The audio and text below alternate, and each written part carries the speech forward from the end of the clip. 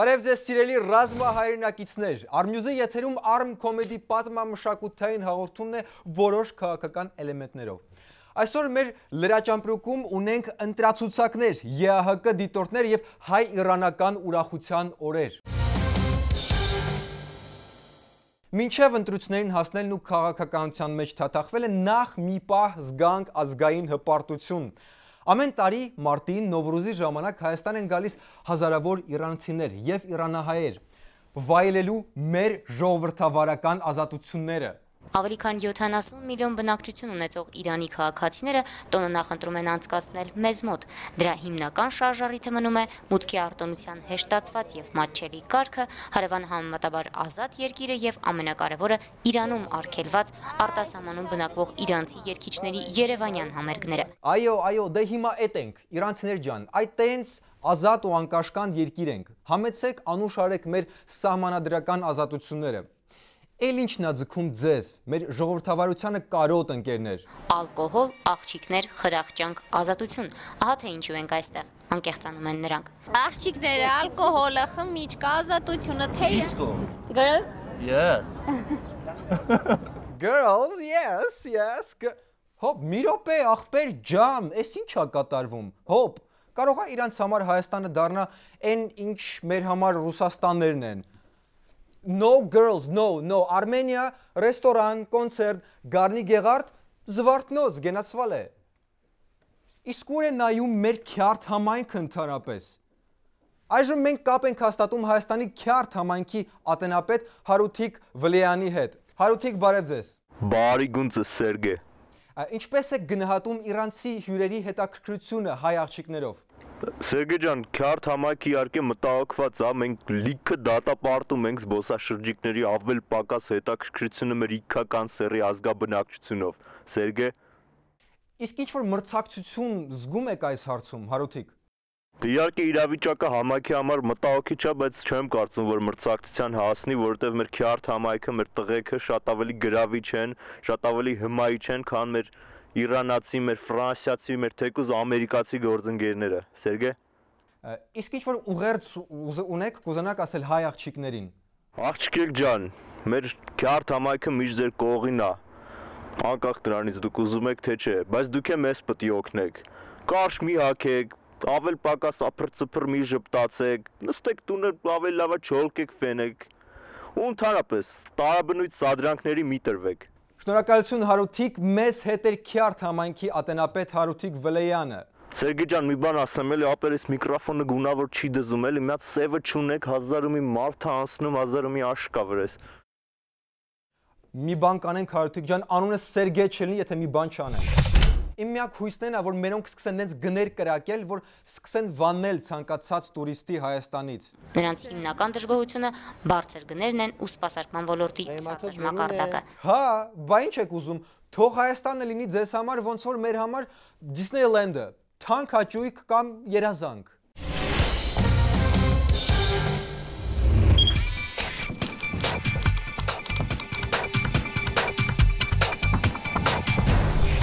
Բարգավաճ Հայաստանը հրապարակեց իր նախընտրական ցուցակը, որտեղ հավաքվել են ամենատարբեր մարդիկ, որոնց միավորել էր ԲՀԿ-ի գայթակղիչ գաղափարախոսությունը։ Մեր խոսքը գործ է։ Թե կարգախոսներ։ Ցուցակը գլխավորում է կուսակցության առաջնորդ Գագիկ Ծառուկյանը։ Երկրորդ տեղում Հայաստանի նախկին արտգործնախարար շփաթներ առաջ Բարգավաճ Հայաստան կուսակցությանն անդամագրված Վարդան Օսկանյանն է։ Երրորդում քաղաքաշինության նախարար Վարդան Վարդանյանը։ Ցուցակի 4-րդ հորիզոնականը զբաղեցնում է միավորված աշխատանքային կուսակցության նախագահ Գուրգեն Արսենյանը։ Եվ իհարկե ընտրացուցակի ամենահուզիչ կետը։ Հմայակ Հովանիսյանը ընդգրկվել է Բարգավաճ Հայաստան կուսակցության ընտրացուցակի 9-րդ տեղում։ Շնորհավորում ենք քաղաքագետների միության նախագահին։ Ընդգրկվելու համար ցուցակում պահանջվեց ընդամենը սա։ Ես համակրում եմ Բարգավաճ Հայաստան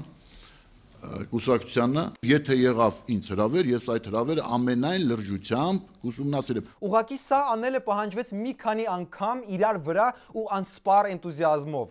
Ցուցակում այլ հայտնի արկածախնդիր դեմքերից կա Տիգրան Ուրիխանյանը, որը մի քանի տարի առաջ հայտնվել էր սկանդալի մեջ, երբ նրա վրա օրը ցերեկով հարցակվել էր Հելսինկի իրավապաշտպան Միկա Դանելյանը եւ հայհոյել։ Բարեբախտաբար Ուրիխանյանի մոտ այդ պահին կար Վոլտան ատրճանակ, որը նա խիզախորեն օգտագործեց։ Թե չէ այդ մարդու իրավունքների պաշտպանները որպես կանոն վայրենի են լինում։ Դրանց հետ լեզու գտնել ընդհանրապես չի լինում։ Հլնայք այս արյունարբու ու չար աչքերի մեջ։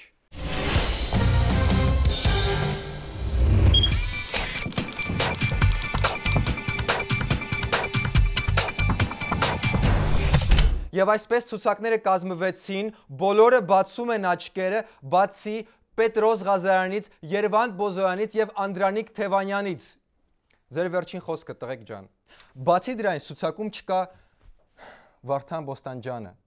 Իսկ ինչպես է նա վերաբերվում չընդգրկվելուն։ Մեր առաջնորդը չհիմնավորված բաներ չի անում երեք, չի արել ու չի անում։ Ես ես ուղղակի չարություն եմ արել ու ցուցակում չկամ։ Ան, անհիմն բան չի լինում մեր ցուցակում։ Պարոն Բոստանջան, վստահ եք, դուք միշտ կմնաք մեր սրտի ցուցակում։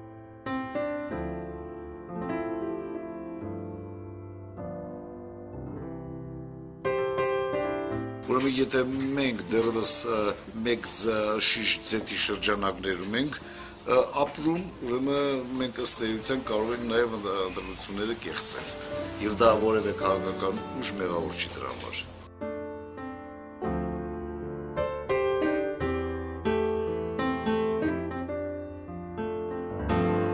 Հովորը ասում է դա, ինձ թվում է գլուխը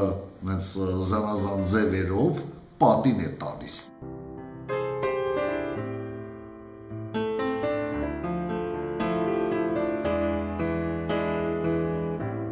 Անկախ միասնական ճակատ կազմելուց ում դեմ։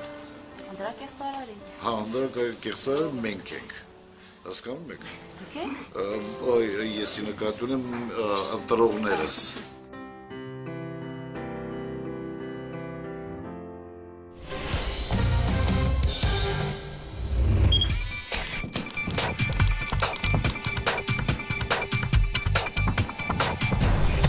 Անդիմությունը վերջապես հասկացավ, որ առանձին առանձին ավելի դժվար է պայքարելը եւ պետք է դա անել միասնական ուժերով, որ เป զի ոչ մի ձայներ չփոշիանան։ Թիվ 7 ընտրատարածքում առաջադրվել է Հանրապետական կուսակցության ցուցակից Սամվել Ալեքսանյանը, Հայազգային կոնգրեսից Նիկոլ Փաշինյանը եւ Ժառանգությունից Ռաֆի Հովանիսյանը։ Չէ, չէ, չէ, այդ նկատի ժողովուրդ։ Ես հասկանում եմ, որ առաջին հայացքից թվում է, որ եթե շատ ընդդիմադիրներով լինեք մի ընտրատեղամասում, ապա շատով մեկին հեշտ կլինի ճնշել, բայց չէ, այս են դեպքը չի։ Այմար դե մի ամաչեք, խոսացեք իրար հետ էլի նախորոք։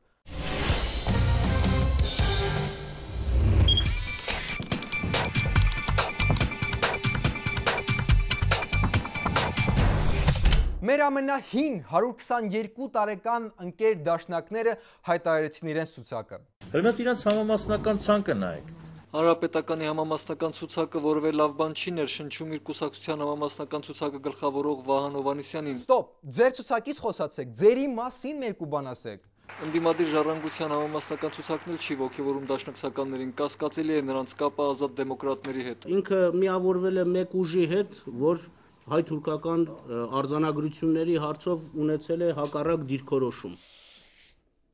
Ձեր ցուցակը մյուսների վրա ցեխ լցնելը կհասցնեք, դեռ մի ամիս կա, ձեզանից խոսացեք, գոնե քանի հոգով եք գնում։ Այսօր կուսակցությունը կենտրոնական ընտրական հանրաժողով կներկայացնի իր երազանքների 85 հոգանոց համամասնական ցուցակը։ Բոլոր 85-ն էլ անցողիկ են։ Ահա, շատ լավ է, միայն ուրախ եմ։ Իսկ այս անգամ իշխանապողության մասին խոսալու եք։ Այդ ցուցակով կուսակցությունը գնում է իշխանապողության, սակայն խոսքն այնքան էլ մարդկանց փոխելու մասին չէ։ Մարդկանց անունները փոխելու արդյունքում երկրում շատ բան դրանից չի փոխվում։ Այդ ուրիշ, թե չէ մարդիկ կարող են ասել, հես այլի կգան ընտրություններից հետո կոալիցիա կկազմեն։ Իդեպ Վահան Հովանեսյանը տեղեկացրեց, որ չեն կարող բացառել ընտրություններից հետո որևէ քաղաքական ուժի հետ կոալիցիա կազմելու հնարավորությունը։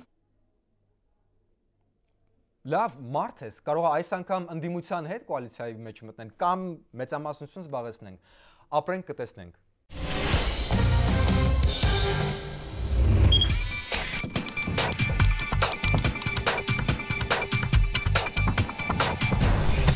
Վատ լուր ֆուտբոլասերների համար։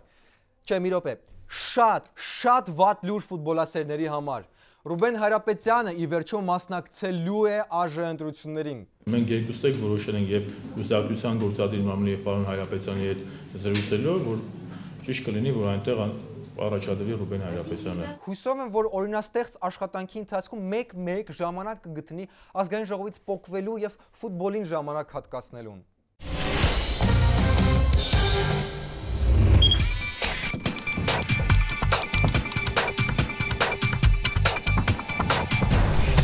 Եթե ինչ-որ մեկը դեռ կասկածում էր, որ ընտրությունները անցնում են շատ լավ ու բարձր մակարդակով, ապա արդեն այդ կասկածները վերջնական փարատվեցին։ Իբրև ընտրություններ դիտարկող մենք լինելու ենք անկողմնակալ, պրոֆեսիոնալ եւ օբյեկտիվ։ Այսօր այս մասին Երևանում հրավիրած Մամլո Ասուլիսին հայտարարեց առաջիկա խորհրդարանական ընտրություններին ԵԱՀԿ-ի ժողովրդավարական հաստատությունների եւ մարդու իրավունքների գրասենյակի դիտորդական առաքելության ղեկավար Ռադմիլա Շեկերինսկան։ Այո ժողովուրդ ջան, Հայաստանն եկել ԵԱՀԿ ժմիգի դիտորդները, այնպես որ անհանգստանալ պետք չի, ընտրական գործընթացը ապահով ձեռքերում է։ Մի երկու բան էլ ասեք, մենք լրիվ հանգիստ ենք, էլի Ռադմիլա Շեկերինսկա ջան։ Միջազգային դիտորդները միայն դիտարկում են, ոչ թե միջամտում։ Նախնական եզրակացության վերաբերյալ հայտարարությունը ԵՀԳ ժմիգ առաքելությունը հրապարակելու է ընտրությունների հաջորդ օրը։ Իդեպ Իդեպ ինձ մոտ չեմ ասի ով ատվել, բայց կա ԵՀԿ ժմիգի եզրակացությունը, որը պետք է հրապարակվի այս տարվա մայիսի 7-ին։ Խորհրդարանական ընտրությունները Հայաստանում անցկացվեցին մեծապես համապատասխան երկրի միջազգային պարտավորություններին։ Չնայած հետագա բարելավումը անհրաժեշտ է կապված դեռևս արկա մարտահրավերների հետ։ Տեսակ, մի օրական թես հիններ։ Չէ՞ ճիշտ տարբերություն։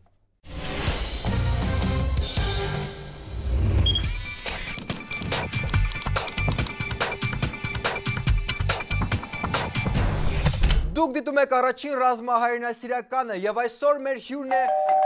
կներեք, ես մեր դամաֆոնն է։ Ով է կներեք։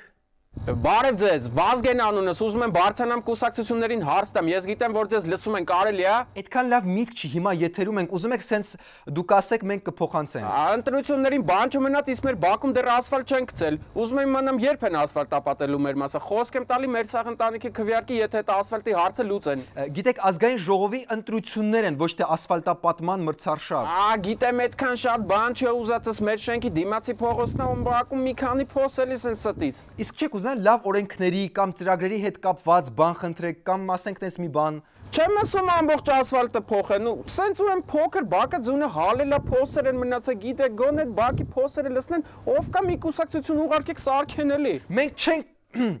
Հերիքա ընտրությունները կապել ասֆալտ գցելու հետ։ Արդեն ամոթ է, ինչքան կարելի է։ Մեկ էլ շենքի մուտքը, որ սարքեք շատ լավ կլինի։ Դամաֆոններից դրեք, ով ասես բազից դա մտնում սկսում Չնայած առայժմ մեր շենքի մոտ էլ չեն շտապում ասֆալտ գցել։ Ինչեւ այսօրվա մեր հյուրն է Հայաստանի միջին խավը։ Բարև միջին խավ։ Իդեպ ճիշտ եմ դիմում, տենց է, հա, միջին խավ։ Հա, հա, ոչ մի ամոթ բան չկա, միջին խավ։ Ինչպես է միջին խավ։ Ոչինչ հենց այդպես էլ պատկերացնում եք, գիտես։ Իսկ շատերը կարծում են, որ Հայաստանում դու գոյություն չունես։ Ինչ ես կարծում այդ սկեպտիկների մասին։ Դու իրոք գոյություն ունես։ Սերգեյ ջան, նես չի որ ես վխտում եմ, բայց միջին խավ եմ կամ քիչ ենք, մեզ միջին խավ են ասում, կան մարդիկ, որ իհարկե մեզ վերաբերում են ոնց որ sense հեքիաթային հերոսնի միա եղջյուրի, այսինքն ինչ որ ասում են, որ չկա տենց բան չեն հավատում, կան մարդիկ, որ մի կամ երկու անգամ տեսել են միջին խավ, բայց ես կամ կարող ես շոշափես։ Հա, իրոք նես չէ որ վխտում ես, բայց կաս, հա։ Իսկ հեշտ է Հայաստանում միջին խավ լինելը հեշտ չի, որովհետև միջին խավը ճունի ծանոթներ մաքսայնում, հարկայնում, միջին խավը ճունի անգամ նախարար բարեկամ։ Ոնց, ոչ մի ծանոթ։ Ոչ մի ծանոթ, անգամ փոխ նախարար բարեկամ ես ճունեմ Սերգեյ ջան, ու մարդիկ մի տեսակ նենց են նայում, ոնց որ ալաբուլա է մեր մոտ մի բան։ Աղքատները մտածում են մենք միլիոնատեր ենք, իսկական միլիոնատերները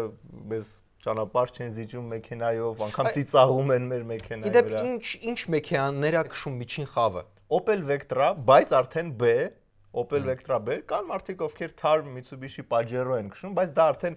միջին խավից դուրս գալու մեքենան է։ Եթե մեկը Pajero է քշում, մենք նրան մեր համայնքում ասում ենք այսօր եկուցներ։ Հա, իսկ ինչ դրական բաներ կան միջին խավ լինելու մեջ։ Դրական այնա, որ ասում են կառավարությունը անընդհատ մեր մասին մտածում է, ինչ որ ուզում է մեզ ձևավորի, շատացնի, բայց մենք կանք, պարզապես պետք է մեր տեղը իմանալ։ Մի հատ անհամեստ հարց տամ, էլի ամսական ինչքան աշխատավարձ է ստանում միջին խավը։ Հենց այդքան էլ պատկերացնում եի, գիտես, չէ, ոչ ավել, ոչ պակաս, հենց այդքան։ Իսկ որտեղ է հանգստանում միջին խավը, ամռանը։ Սևան, եթե հաջող տարի է լինում, ծախսեր շատ չեն լինում, գուցե Անտալիա։ Հա, իսկ ձմեռը երևի ծաղկաձոր։ Ձմեռը ծաղկաձոր Սերգեյսկի հարստները չեն կարողանում իրենց թույլ տան, չէ՞։ Ձմեռը հանգստանալ առասարակ թիթիզություն է։ Իսկ ինչ որ հավաքվելու տեղ ունեք, որտեղ բոլորովը հավաքվեք միջին խավով, շփվեք, գարե ջուր խմեք, բոլորդ միասին։ Հա, իհարկե։ Որտեղ։ Մեր տանը։ Ամբողջ միջին խավով։ Շատ մեծ է մեր հյուրասենյակը Սերգեյ ջան։ Իսկ ինչպես կարելի է փողոցում տարբերակել միջին խավին մյուսներից։ Տես, միջին խավի դեմքին երբեք չկա հաբրգացության նշույլ։ Չկա։ Մեկ-մեկ նույնիսկ կարող ես տեսնել, որ ճպտում է, անկեղծ լայն ճպտում է, եթե մեկը ճպտում է, դա միջին խավի ներկայացուցիչ է ու հավանաբար այդ օրը ինքը ստացել է աշխատավարձը։ Ու շատ հաճախ ջինս է հագնում միջին խավը։ Իսկ դժգոհ միջին խավ կա, որպես այդպես։ Այո, դժգոհ միջին խավ կա, բայց Լոս Անջելեսում, Մոսկվայում արդեն Ու վերջին հարցը՝ միջին խավը մասնակցում է ընտրություններին։ Իհարկե, Սերգի ջան, բոլոր խավերի նման գնում է, մասնակցում քվեարկում է, շփվում է տեխնացուների հետ, եթե պետքա բակը ասֆալտապատ են խնդրում։ Չէ, ասֆալտ դուք գոնե մի բան արեք։ Լավ, շնորհակալություն, մեր հյուրն էր միջին խավը կհանդիպենք մի քանի օրից, վերջում դիտեք օրվա վիդեոբոցը։